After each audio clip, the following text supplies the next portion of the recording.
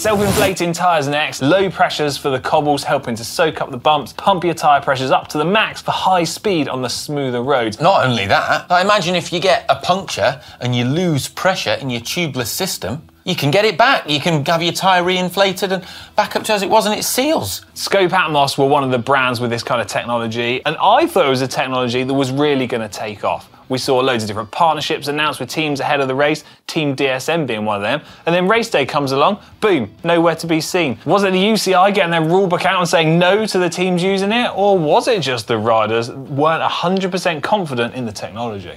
Who knows?